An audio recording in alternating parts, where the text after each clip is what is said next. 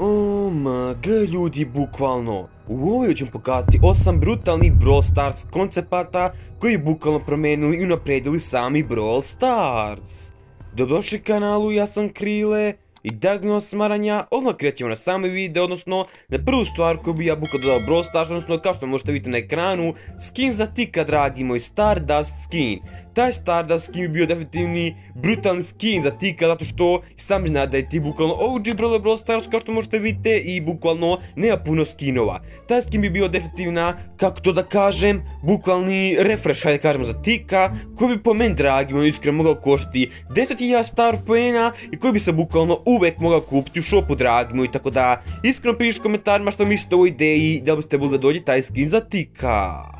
Druga stvar, dragi mi, koju ja bukvalno mnogo volio da vidim u Brawl Starsu i da ono, odmah dođe je mini igra. Ne dragi mi, ne mislim na mini igre poput ovoga u Mapmakeru, već mislim na prave oficijalne mini igre koje bi bile nešto kao game modovi. Kao što možete vidjeti na ekran, bukvalno imamo ovdje dva ponuđena koncepta tih mini igara, dragi moji. Prvi je bukvalno taj da, kao što možete vidjeti, M's only, digate samo svi sa M da se borite da vidite ko će biti veći pro, koji ima više skilla se pokaže i da bude popno, hajde kažemo bolji i nadmoćniji od svih ostalih u toj mini igri, a druga je hide and seek, ili bukvalno žmurka u Brawl Starsu, dragi, gdje ste bukvalno pokazali vaš skill u tome, kako se krijete, kako se branite, puno bi se zabavili i bilo vam prosto mnogo zanimljivije nego da igrate konstanto klasične game mode ili te neke nove koji dolaze i nemaju puno smisla u Brawl Starsu, dragi moji, tako da iskreno isto pišite komentarima za ovu ideju da biste volili da dođe u Brawl Stars ili ne.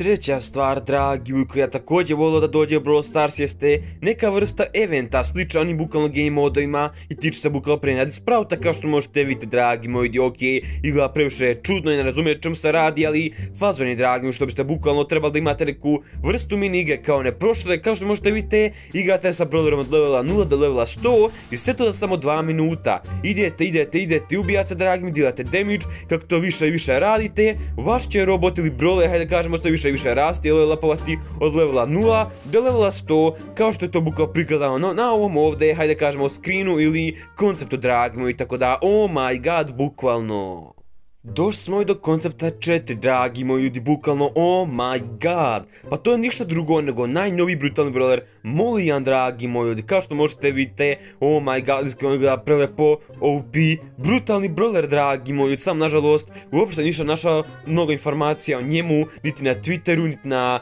bukvalno YouTube, niti bilo gde. Samim tim, nažalost, nemamo informacija od tog njegovog kreatora, ali ono što imamo je to, da je taj lik to, znači, koji to pravio, objavio na samo bukvalno Twitter, napisao hashtag brawler koncept i on je bukvalno pisao ti brawleri, odnosno da taj brawler treba pripada bad randomcima, odnosno ovom ovdje bukvalno bazovom timu, samim tim, bukvalno se pojavio Brawl Stars, da pravi Brawl Stars koji je verifikovan, kao što možete vidjeti napisao je new hashtag bad randoms member, samim tim dragi moji to bukvalno dokazalo da su preselu taj koncept dopao i da bi taj brawler najvratnije mogao doći u Brawl Stars.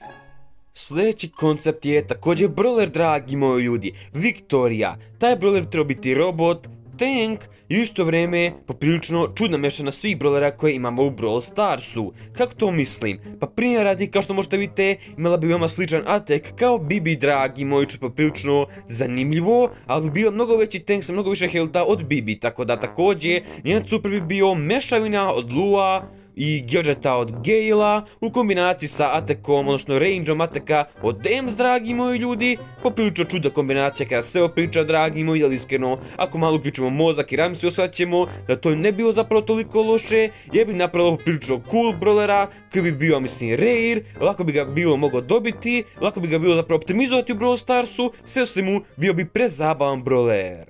Sljedeći koncept brawlera se zove May, dragi moji, kao što možete vidjeti, bio bi support, epic brawler i bukvalno se bavio hranom, kako to mislite? Food series bi se zvao, a te kao što možete vidjeti bacao bi bukvalno tofu, ja mislim nešto tako dragi moji ljudi, remen zapravo, remen, neku čudnu hranu, a ta čudna hrana je zapravo ovo kao što možete vidjeti na ekranu, remen dragi moji ljudi, neka mešavina svega i svačega koja bukvalno uglavnom bacala bi ta tri remena dragi moji kao atek, nešto slično kao što tu baca lede, a što tiče supera, bacala bi tri tofua ili tri zida od pirinča dragi moji ljudi, oh my god, malo mi je čudno što se bukvalno bavi hranom i što baca hranu svako, ne toliko loš koncept za brawlera kad se malo razmisli. E sada, dragi moji ljudi, posljednji i bukvalno najbolji brawler koncept u ovom videu, dragi moji ljudi, jeste niko drugi nego Messi, dragi moji ljudi, Kesi, nešto tako, oh my god, sa svemu, kao što možete vidjeti po ovom videu, bukvalno ona bi bila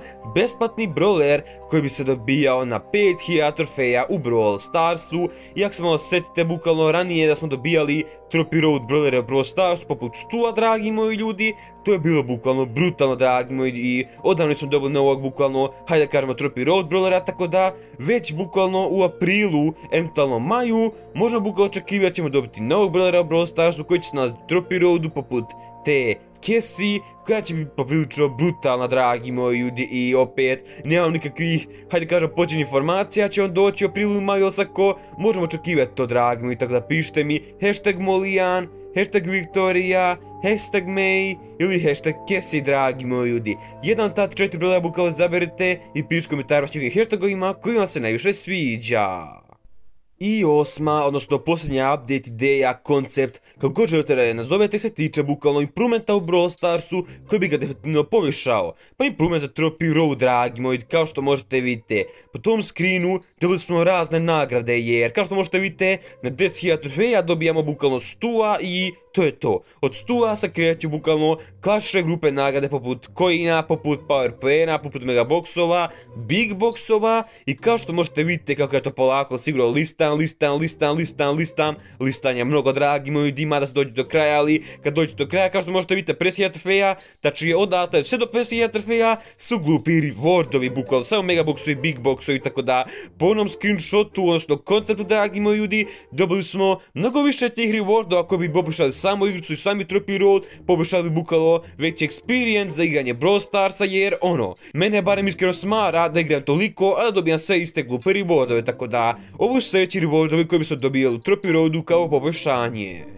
Pre svega, dobijali bismo girove i token, hajde kažemo skrepove, na 20.000, tačnije do 20.000 tih trofeja, dragi moji, što je poprilično brutalno, zatim na 30.000 trofeja bismo dobijali novi brutalni box, dragi moji, koji bi dao barem za garantovanog legendarnog brolera i za garantovane brutalne brolere, zatim na 40.000 trofeja bismo dobili novi brutalni skin ili skinove zasnosti toga koliko ste pušali tog dana ili ti tog, hajde kažemo, sezon puša i naravno na 50.000 trofeja ekskluzivni specijalni brutalni brawler koji samo rijetki, odnosno pro igrači mogu imati Brawl Starsu, tako da, barem po meni, ovo bila iskreno brutalna ideja, dragi moji ljudi, tako da... To bi kao bilo svo za i video, ostavite lepi like i subi pogledajte ovaj. Ćao!